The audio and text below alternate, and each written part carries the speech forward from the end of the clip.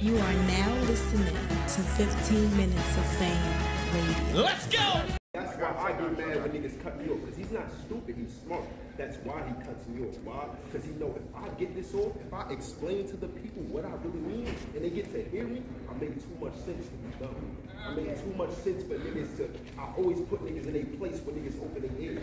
So niggas immature little kid shit like that. Like, oh yeah, bro, beat around the bush, come to a fucking, a fucking, uh, face on fake drunk with a half full bottle. You're not even that big. The bottle's still mostly full. You know what I'm saying? Like, like this is shit I pay attention to.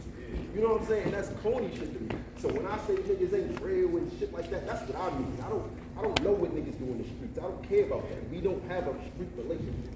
You feel me? But when I say niggas is this or niggas is fraudulent, I mean shit like that. You gotta fake drunk because you don't want to have a conversation. But I'm a low kid. How you bail out of a conversation like that? But you think you, you ready for this conversation tomorrow? Talk, nigga. You're crazy, nigga. Word to my mother. shot. Instigate. Word to my mother, nigga. You crazy. Like, I ain't gonna lie. This nigga's crazy. You crazy. This, this, this moving up like that. He's crazy. I, I like that. I like it. I like as a man, I fuck with that. Like, don't, don't, I don't be wanting niggas to get that shit twisted. That'd be my problem though, because sometimes niggas don't think I'm selling the fight enough. No, it's not about selling. The fight is the respect that I have for this man. I don't got time to tell you how ass niggas is, how pussy niggas is. How this- If he ain't nobody, then what, what is he when I beat him? What does it mean when I beat him? If I beat up a pussy ass nigga, what points do I get for it? If I beat up a dog, yeah, I'm different now. Niggas look at me like I'm different. You know what I'm saying? So like, it's, I don't get no points for treating niggas like they not who they are. That's why I sit there and say, yeah, DNA running of them niggas. DNA was the first nigga that gave me a shot, because he was. That's why I say shit like, yeah, I, I beat Austin.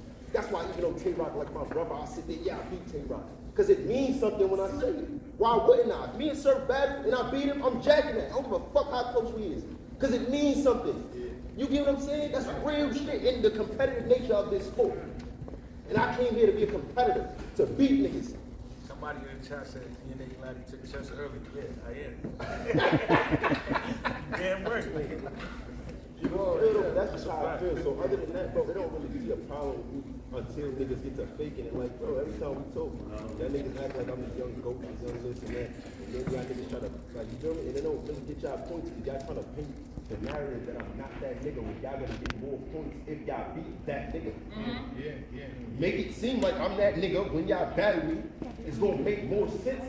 It's gonna look better on y'all resume.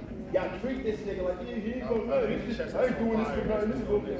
You gonna look like a fool when you get your ass smoked. You're gonna look like a fucking dummy. That's all I really got to say. I don't gotta say too much else. So, so what are you getting? 15 Minutes of Fame!